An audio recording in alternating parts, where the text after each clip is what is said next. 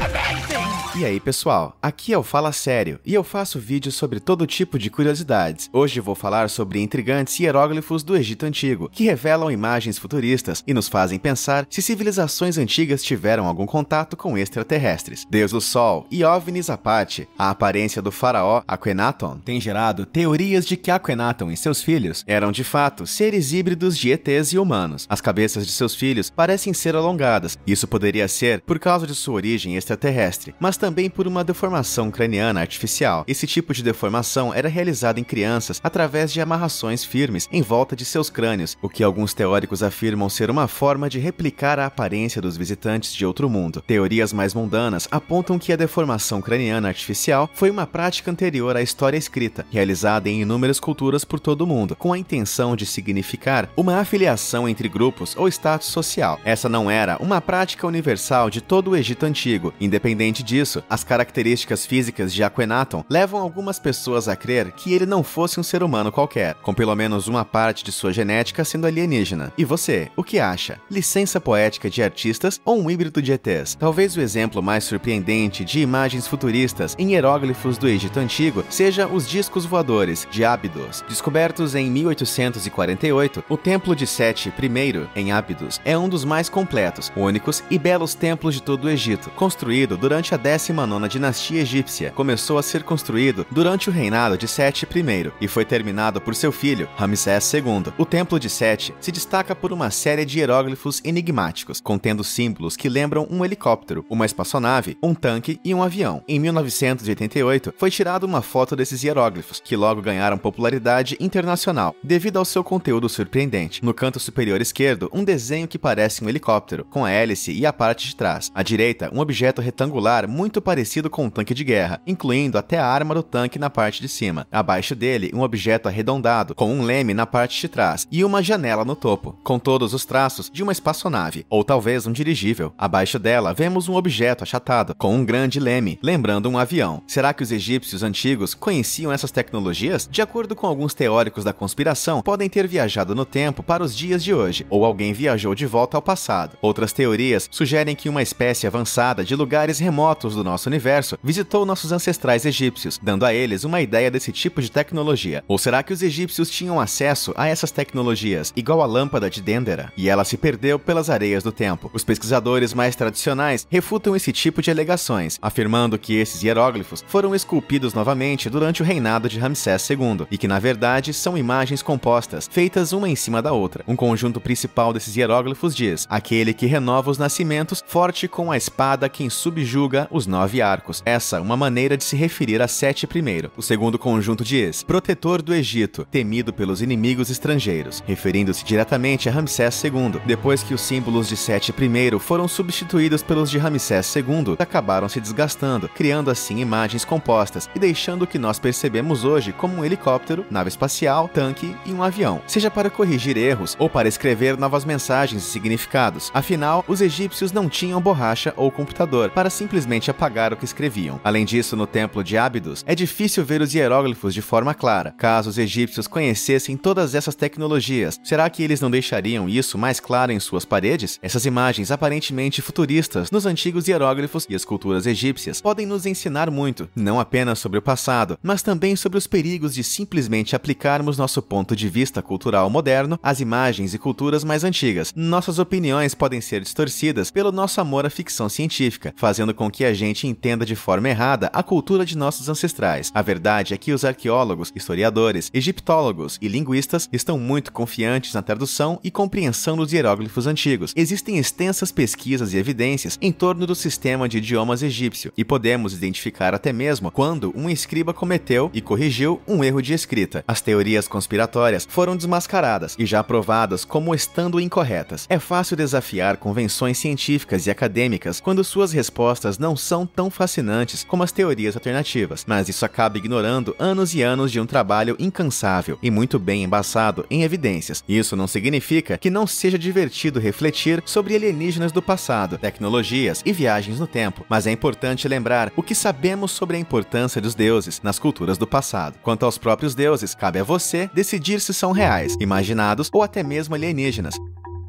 O que você acha da possibilidade de vida alienígena e da existência de tecnologias modernas no Egito Antigo? Conta pra gente nos comentários abaixo. E como sempre, obrigado por assistir. Não se esqueça de se inscrever no Fala Sério e clica no sininho para receber notificações sempre que lançarmos um vídeo novo. Até a próxima!